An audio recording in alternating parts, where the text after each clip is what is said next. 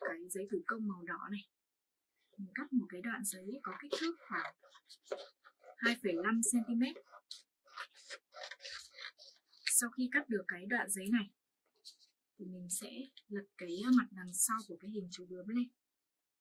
Dùng súng bắn keo gắn một cái đường keo dọc theo phần cánh của chú bướm. Sau đó mình đặt cái đoạn giấy của mình vào với cái phần keo này tiếp theo là một cái đáy cho cái hình của mình. Mình cũng gắn keo, sau đó cuộn cái giấy của mình theo cái phần đáy này. Khi mình gắn cái hình của mình tới đâu thì mình sẽ giữ, cố định cái hình của mình tới đó. Cuối cùng là mình gắn cái phần giấy của mình lên trên cái cạnh còn lại. Để ờ, tạo thành cái phần cạnh thân của chiếc túi với những cái phần giấy thừa thì mình sẽ dùng kéo để cắt bớt đi. Tiếp theo, mình lại gắn một cái đường keo nữa lên cái phần mặt phía trên của cái cạnh giấy này và đặt cái hình chú ướm còn lại lên trên cái phần keo của mình đã gắn. Sau khi ờ, mình gắn hai cái hình chú bướm vào cái cạnh túi thì mình đã có cái thân túi như thế này. Để làm quai sách cho chiếc túi thì mình sẽ dùng cái giấy thủ công màu hồng, cắt một đoạn giấy có kích thước khoảng 1 cm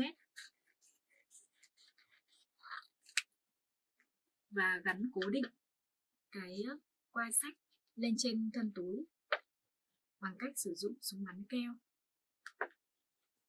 mình gắn keo ở cạnh túi, sau đó mình đặt cái quai sách vào với cái phần keo này sau khi hoàn thiện thì mình sẽ có một chiếc túi sách hình chú bướm rất là xinh xắn như thế này các bạn có thể tham khảo cách làm của mình nhé Video hướng dẫn làm một chiếc túi sách hình chú bướm xinh xắn từ giấy thủ công của mình đến đây là kết thúc rồi. Cảm ơn các bạn đã quan tâm theo dõi. Hẹn gặp lại các bạn ở những video tiếp theo. Tạm biệt. Xin chào các bạn, mình đã quay trở lại rồi đây. Hôm nay, mình sẽ hướng dẫn các bạn làm một chiếc ống đựng bút có hình chú Pikachu như thế này nhé. Còn bây giờ, cùng mình thực hiện nào.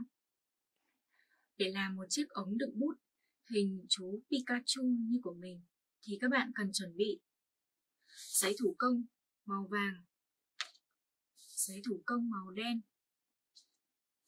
và giấy thủ công màu đỏ.